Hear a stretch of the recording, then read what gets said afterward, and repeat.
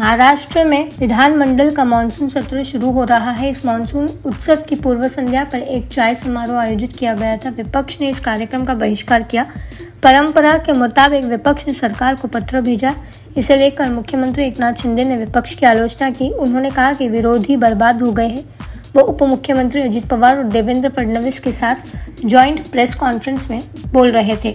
मुख्यमंत्री एकनाथ शिंदे ने आलोचना करते हुए कहा कि विपक्ष ने चाय पार्टी का बहिष्कार किया। हालाँकि विपक्षी दल एकजुटता के साथ राज्य की समस्याओं का समाधान कैसे निकालेंगे?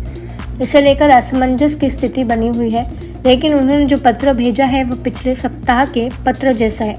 विपक्ष भ्रमित नज़र आ रहा है यह विपक्षी दल है जो विश्वास खो चुका है। महाराष्ट्र में विधानमंडल का मानसून सत्र शुरू हो रहा है। इस मानसून उत्सव की पूर्व संध्या पर एक चाय समारोह आयोजित किया गया था। विपक्ष ने इस कार्यक्रम का बहिष्कार किया।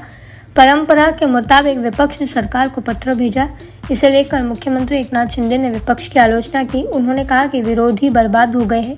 वो उप मुख्यमंत्री अजित पवार और देवेंद्र फडणवीस के साथ ज्वाइंट प्रेस कॉन्फ्रेंस में बोल रहे थे। मुख्यमंत्री एकनाथ शिंदे ने आलोचना करते हुए कहा कि विपक्ष ने चाय पार्टी का बहिष्कार किया। हालाँकि विपक्षी दल एकजुटता के साथ राज्य की समस्याओं का समाधान कैसे निकालेंगे?